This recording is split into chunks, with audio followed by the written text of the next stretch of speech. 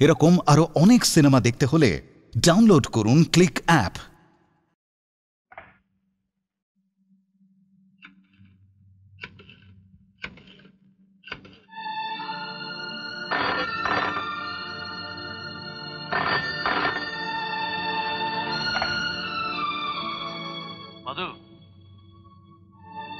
হঠাৎ ফোন করলে?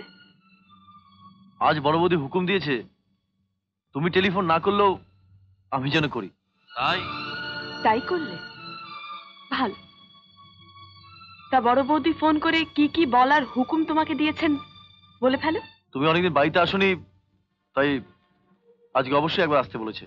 একসময় তোমাদের বাড়িতে গেলে তোমার মেজবতী আমাকে ঘরে নিয়ে যেতেন।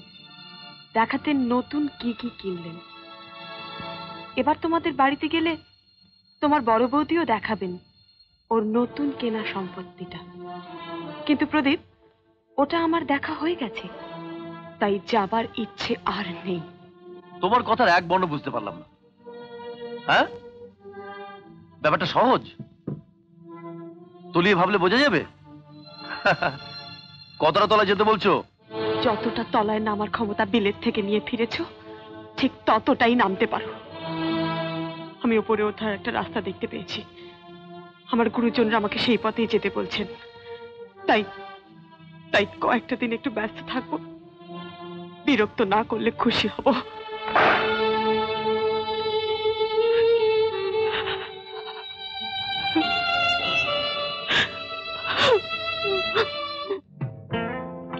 খুশি তো?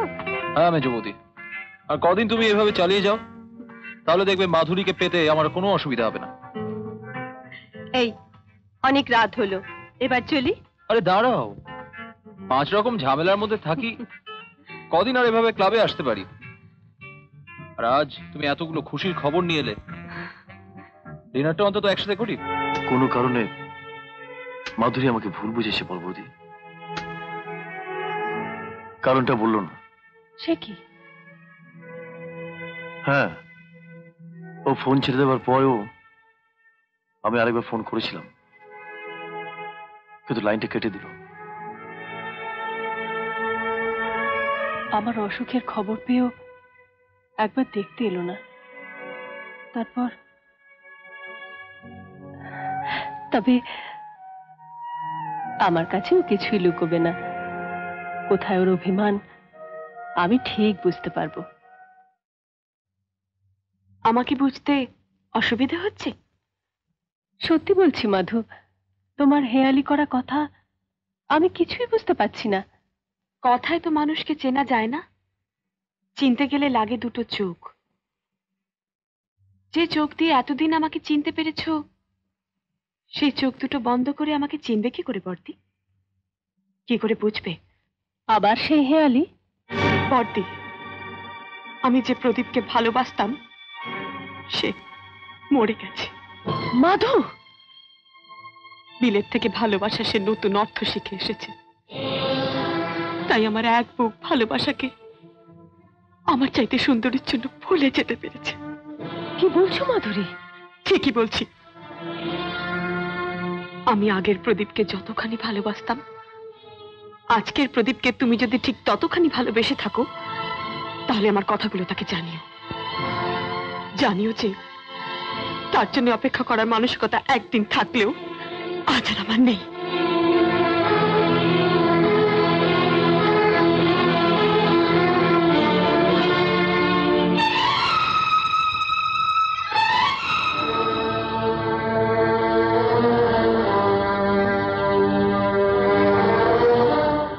কথা শুনে মনে হলো এ যেন সেই মাধুরী নয় অন্য কেউ।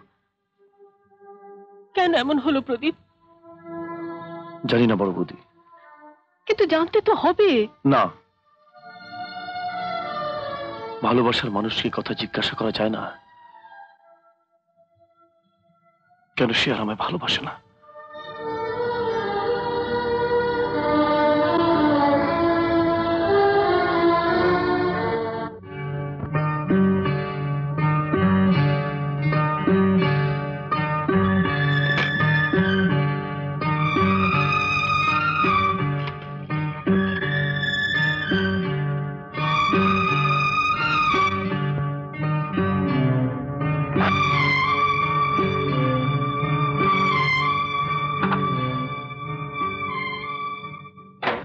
না স্যার? হ্যাঁ যাব। কটা বাজে? সাড়ে সাতটা স্যার। সাড়ে সাতটা? দিদিমণি বাড়িতে নেই দাদাবাবু। নটা বাজে। এলে বলো আমি এসেছিলাম। হুম বলব।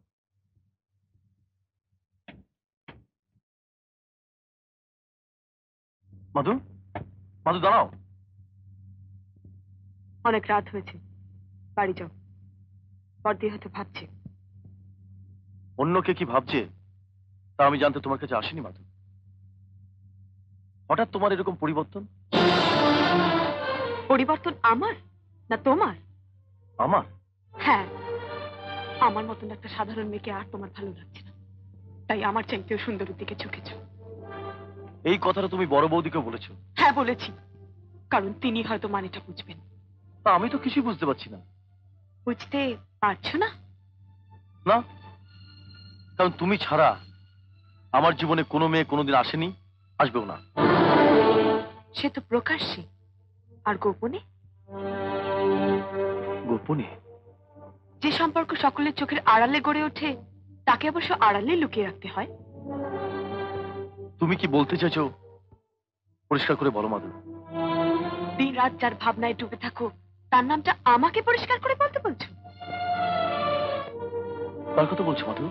সেবার নাম করে যার ঘরে সারা রাত কাটিয়েছো? তোমার সেই আদরের বড় বৌদি। তুমি যদি মেয়ে না হয়ে একটা ছেলে হতে তোমার এই মুখ আমি ভেঙে গুড়িয়ে দিতাম। তোমার এই নোংরা কথা বলার সাহস আমি চিরকালের মতো শেষ করে দিতাম। তোমার ওই চোখ দুটোর দিকে তাকিয়ে ভাবতে ঘেন্না করতে যে তোমার মতন মেয়েকে আমি এতদিন ভালোবেসেছি। তোমার কথা ভেবে কষ্ট পেয়েছি। ছি মাধুছি আমার বড় বৌদি, স্বর্গের দেবী।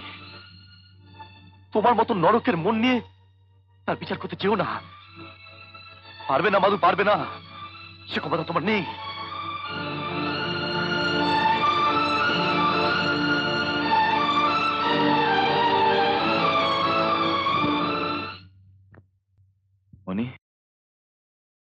তুমি সত্যি বলছো? তুমি সত্যি বলছো মনি? হ্যাঁ গো। খবরটা তোমাকে কদিন ধরেই দেব ভাবছিলাম। মনে আমার কি যে আনন্দ হচ্ছে না? আমার আমার আমার ভীষণ আনন্দ হচ্ছে মনি। আমার দারুণ আনন্দ হচ্ছে। এরকম আরও অনেক সিনেমা দেখতে হলে ডাউনলোড করুন ক্লিক অ্যাপ।